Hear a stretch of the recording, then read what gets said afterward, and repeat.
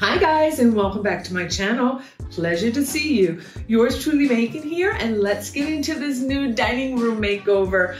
Yeah, I have a lot of explaining to do. Oops, I did it again. I designed a totally new dining room.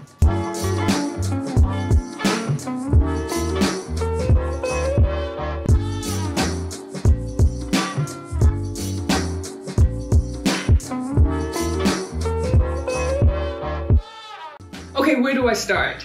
Told you guys that I bought the lamps and the two green vases at the Design Icons trade show in Amsterdam. Yes, technically that was true. That is what I bought as I was physically there. But I saw these chairs here and could not get them out of my head. Cue Kylie Minogue. I had just bought the table and found the chairs for my Gabriella Crespi dining room and talked myself out of buying them, but they would not let me rest. They were easy to find again and to do some investigation because they were from the same dealer from whom I bought the green vases. I found out they were Balmain Paris dining chairs. Unbeknownst, love saying that word, I feel so intelligent. Unbeknownst to me, Balmain, one of my favorite, all-time favorite fashion design houses, had produced furniture from what I believe was the mid 1950s to the early 1980s. Oh, I contacted him immediately. They were still available. He offered me a great deal and they were shipped to me from Salento, Italy. I will leave his Instagram information here and all other information in the description box down below because he has some wonderful things.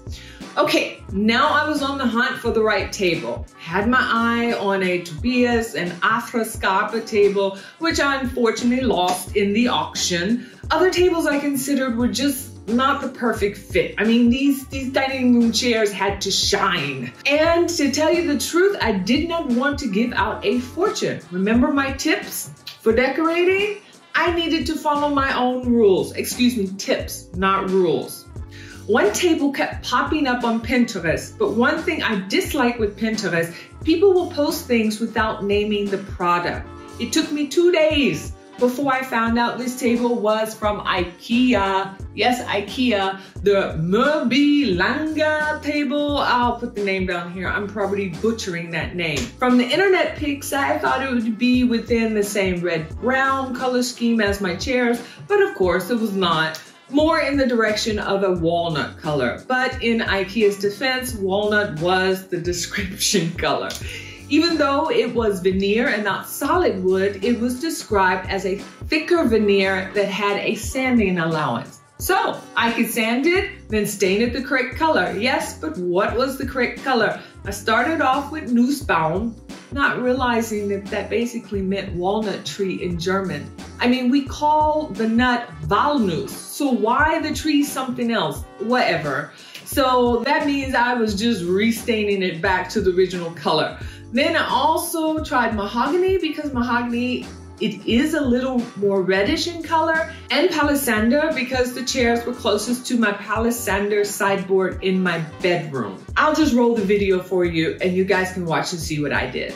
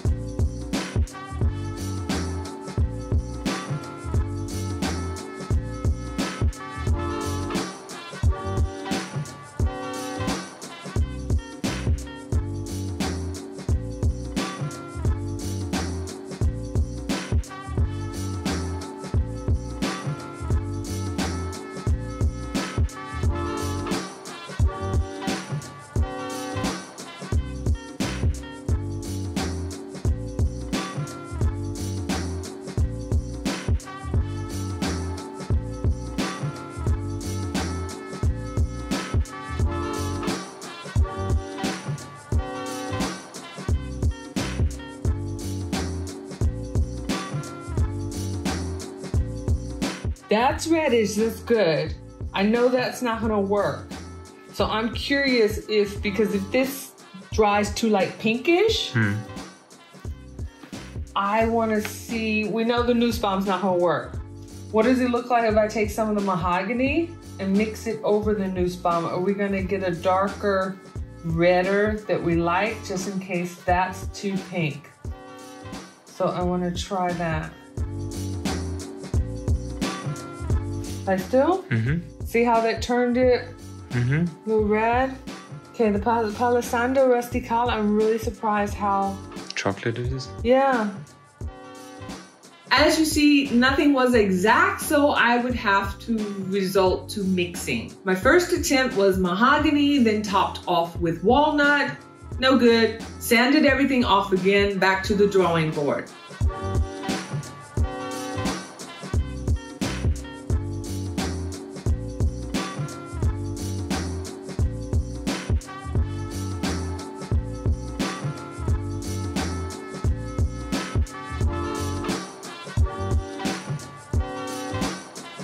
I needed a little orange mix in with the reddish brown color. I went back to the hardware store and picked up some teak stain, realizing my sideboard in my bedroom was teak, not palisander. But again, you guys watch the video here.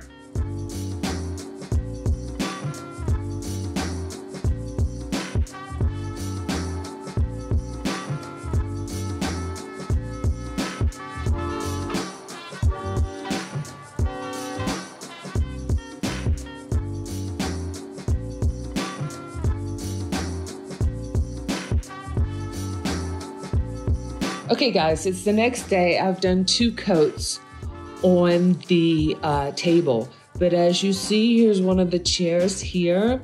Even though orangey is coming through, it's still not as orange red here. And if you notice right in this area, that's where I had tested two coats of mahogany. And even though I sanded well, that area had more coats of mahogany and a little bit of the mahogany is still showing through. So I have two ideas. I'm gonna test out a coat of mahogany, let it dry, sand it lightly, and go over it with the teak. The second thing is I have mixed one part mahogany and one part teak, and I'm gonna see if that works. So let's get started. Okay, you see how really purple that looks, especially over the teak? I'm gonna get a rag and kind of dilute that a little bit. Be right back. Okay, I ended up getting some tissue, so I'm gonna wipe some of it off. Okay, that looks good. Maybe just a little bit more without adding more to the brush.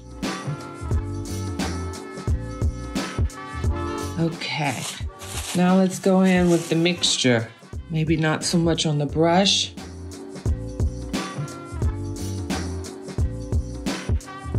Okay, we're gonna let that dry and see what happens. Keep you updated. Bye.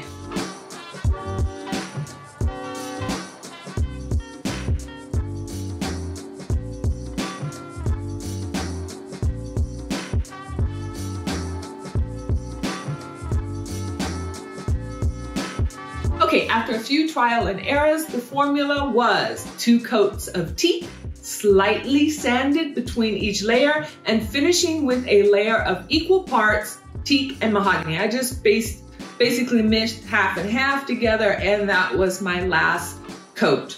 After staining was finished, we simply assembled the table.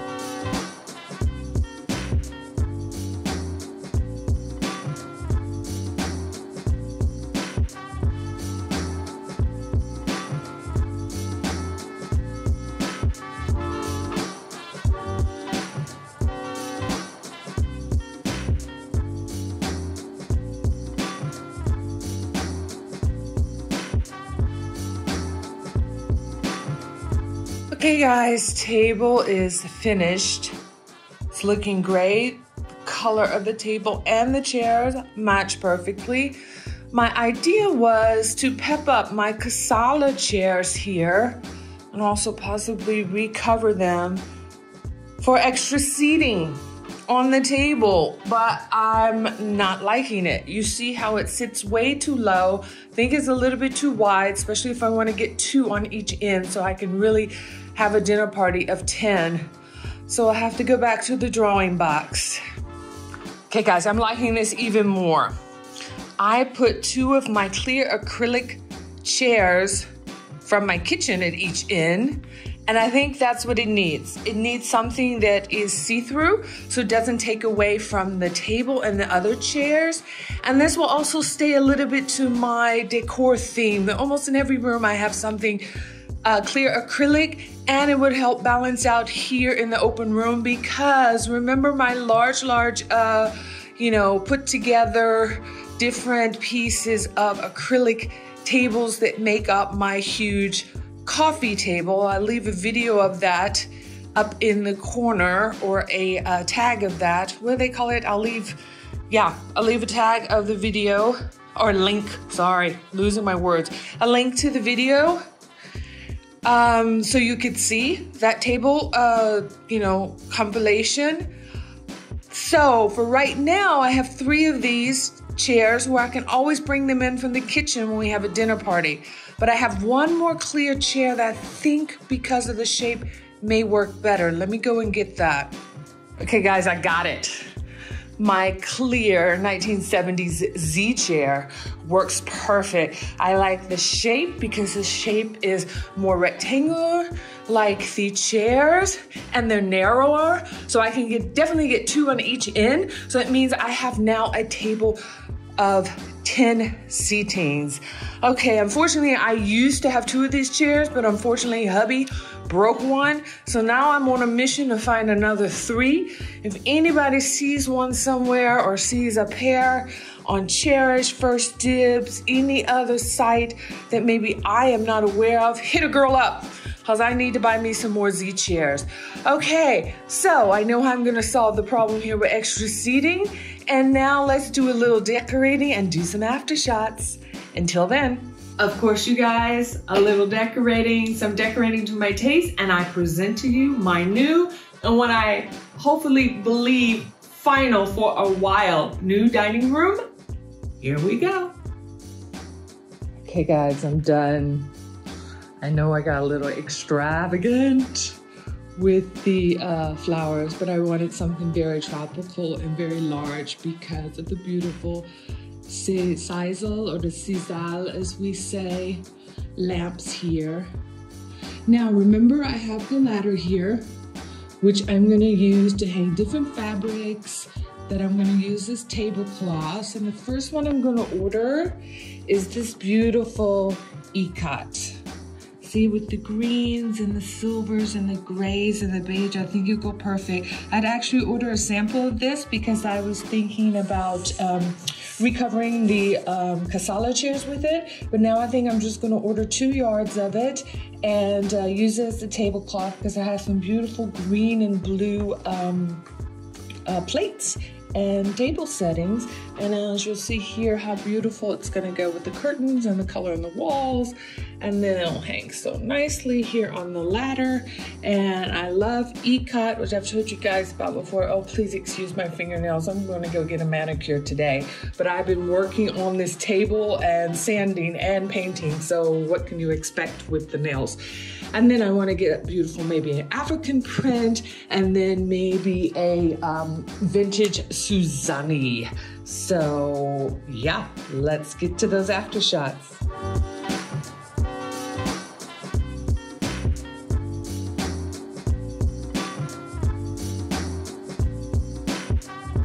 As you see, the chairs and table are a match made in interior design heaven, I may add. Not only in form, but now, thanks to me, in color. True high-end styled with low-end vintage with new. Remember, I promised you this. I just need to find an ideal way to expand the seating capacity so I am truly ready for all of you to come and dine with me. Hope you enjoyed this video. Please stop back by again. And as always, yours truly, Heart Macon. Here we go. Is that how Vanna White does it? Remember, like, she's always... No, she walks across and turns the letters.